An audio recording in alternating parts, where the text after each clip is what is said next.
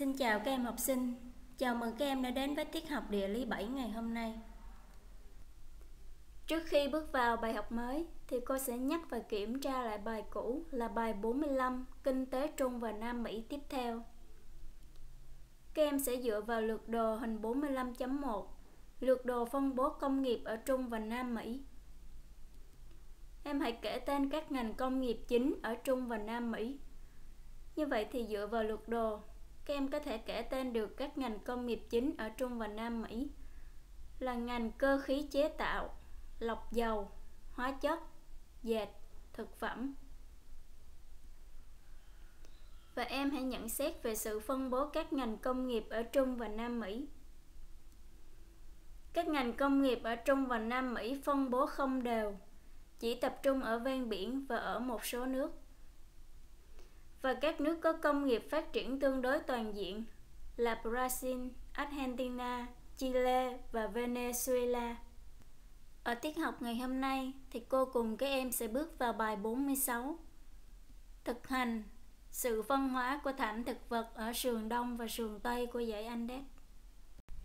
Về nội dung, thứ nhất, chúng ta sẽ tìm hiểu về các đai thực vật theo độ cao của núi Andes đó là bài tập 1 và bài tập 2. Nội dung thứ hai là tìm hiểu sự phân hóa thực vật ở sườn đông và sườn tây của dãy Andes. Đó là bài tập 3. Chúng ta sẽ bước vào nội dung thứ nhất. Tìm hiểu các đai thực vật theo độ cao của núi Andes. Bài tập 1 và 2 quan sát hình 46.1 và 46.2 cho biết thứ tự các đai thực vật theo chiều cao của sườn Tây sườn đông Andes. Từng đai thực vật được phân bố từ độ cao nào đến độ cao nào. Và đây là hai hình ảnh. Hình 46.1 sơ đồ sườn Tây Andes qua lãnh thổ Peru. Hình 46.2 sơ đồ sườn Đông Andes qua lãnh thổ Peru. Các em sẽ hoàn thành vào bảng thống kê sự phân hóa thảm thực vật theo độ cao ở sườn Tây, sườn Đông Andes. Đầu tiên thì các em sẽ quan sát vào hình 46.1 sơ đồ sườn Tây Andes qua lãnh thổ Peru. Và các em sẽ hoàn thành vào bản thống kê sự phân hóa thảm thực vật ở sườn Tây Andes theo độ cao từ 0 đến 1.000 m, từ 1.000 đến 2.000 m, từ 2.000 đến 3.000 m, từ 3.000 đến 4.000 m, từ 4.000 đến 5.000 m và trên 5.000 m. Và đây là bảng sự phân hóa thảm thực vật ở sườn Tây Andes. Từ 0 đến 1.000 m, thảm thực vật là thực vật nửa hoang mạc. Từ 1.000 đến 2.000 m là cây bụi xương rồng. Từ 2.000 đến 3.000 m là đồng cỏ cây bụi. Từ 3.000 đến 4.000 m là đồng cỏ cây bụi và đồng cỏ núi cao. Từ 4.000 đến 5.000 mét là đồng cỏ núi cao và trên 5.000 mét là băng tuyết.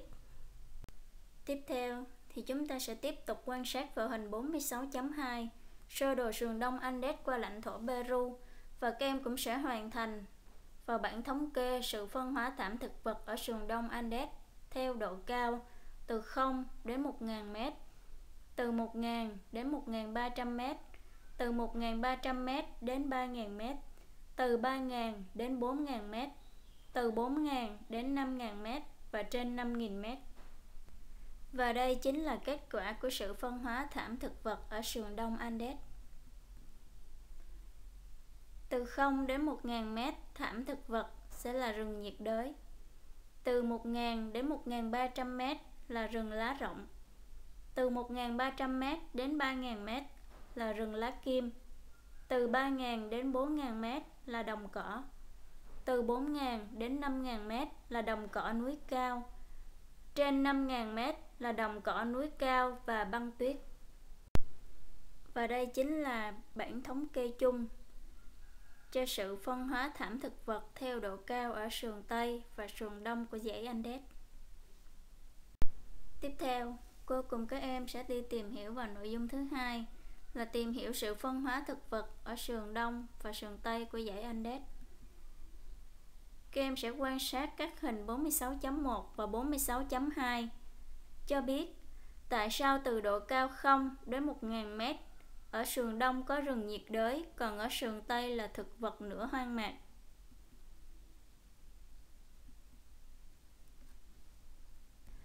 Để trả lời cho câu hỏi trên, thì trước hết, các em hãy trả lời cho cô câu hỏi. Giữa sườn đông và sườn tây, sườn nào cho mưa nhiều và tại sao? Các em sẽ quan sát vào lược đồ hình 41.1, lược đồ tự nhiên Trung và Nam Mỹ và cho biết ở phía đông của dãy Andes, ven biển có dòng hải lưu gì? Dãy Andes chịu ảnh hưởng của gió gì? Và ảnh hưởng của nó tới khí hậu và sự hình thành thảm thực vật như thế nào? Ở phía tây của dãy Andes, ven biển có dòng hải lưu gì? Khi gió thổi từ phía đông vượt qua dãy Andes sẽ xuất hiện hiệu ứng gì? Và ảnh hưởng của nó tới khí hậu và thảm thực vật như thế nào?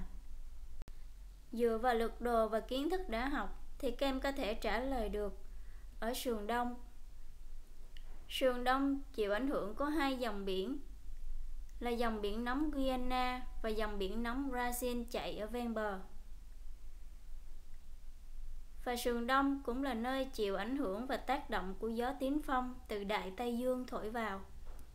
Điều này đã làm cho khí hậu ở sườn đông nóng ẩm, mưa nhiều, thực vật tươi tốt nên phát triển rừng rậm nhiệt đới ở độ cao từ 0 đến 1.000 mét. Ở sườn Tây, sườn Tây sẽ chịu ảnh hưởng của dòng biển lạnh Peru chạy ven bờ. Vì sườn Đông là nơi có gió tiến phong, nên sườn Đông sẽ là nơi đón gió, còn sườn Tây là nơi khuất gió. Sườn Tây Andes là nơi khuất gió. Gió tiến phong từ sườn đông thổi sang rất khô và nóng, gây nên hiệu ứng phơn. Điều này đã làm cho khí hậu ở sườn Tây khô hạn, mưa ít, thực vật kém phát triển nên xuất hiện thực vật nửa hoang mạc ở độ cao từ 0 đến 1.000 mét. Như vậy thì sườn đông Andes sẽ là sườn có mưa nhiều và sườn Tây là sườn mưa ít. Và đây là nội dung ghi bài của các em. Ở phần hướng dẫn về nhà thì các em sẽ hoàn thành nội dung ghi bài vào vở và nộp lại bài tập của bài 44, 45 Kinh tế Trung và Nam Mỹ. Bài tập đã được tải lên trang web của trường và hạn chót nộp bài tập là vào ngày 23 tháng 2. Các em sẽ nộp lại bài tập vào địa chỉ Gmail của giáo viên bộ môn.